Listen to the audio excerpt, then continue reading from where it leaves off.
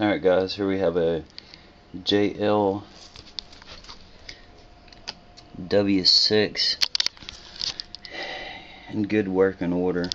Uh, let me see here. See, it's a uh, pretty,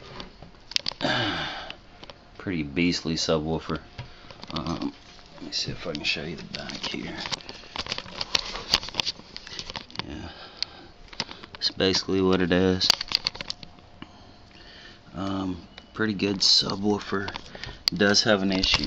Um, if you take this ring off here, you can see where it looks like somebody tried to repair it. Now, uh, the actual surround itself is fine, and it seems like whoever repaired it did a decent job in it. Um, there's no holes in the surrounding, there's no tears in the surrounding or anything like that. Um, this stuff right here, if you did want to put something better on it, would actually be really easy to pull off.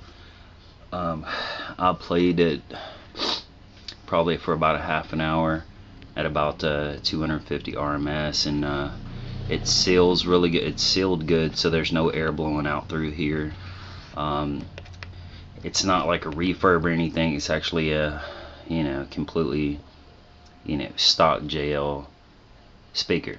Um, so, you know, besides this right here, it has the, uh, has a little thing on it here that you put over. See, once you put that over, you really can't tell somebody had uh, messed with it, but, um, let me show you.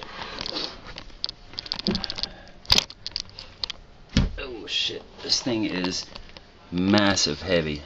Um, so let me let me play it for you and hear how it sounds. Show you that it works and all.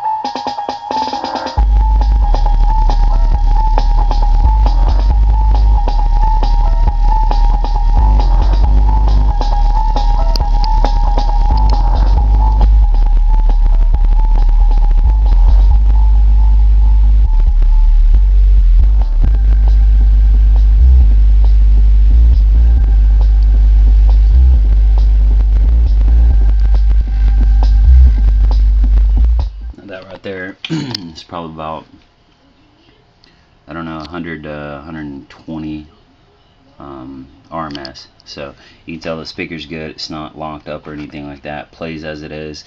Like I said I bought it and it already had this sealed on it. I played it for a while. Um, you know it doesn't have any kind of leaks so I mean if you wanted to you could leave it like this. I'm sure it, it will last a long time. Or if not you can basically just peel back this stuff right here and then get you know whatever it's recommended because like I said it's not ripped. It just uh, I guess came apart from here. Just like if somebody was reconing it you know they put the recone kit back on and didn't put the uh, the right uh, silicone or adhesive or whatever it goes there. But other than that voice coils are good plays good no kind of issues. So uh, that's it. Oh it's got it's got a little scar here that is not even close to being all the way through. Just looks like it rubbed up against something. Um, so that's not cracked or all the way through or anything like that. It's just a little scuffed up just a little scuffed up here. Other than that the whole surrounds are good. The center is good. No cracks. Everything else is good. So there you go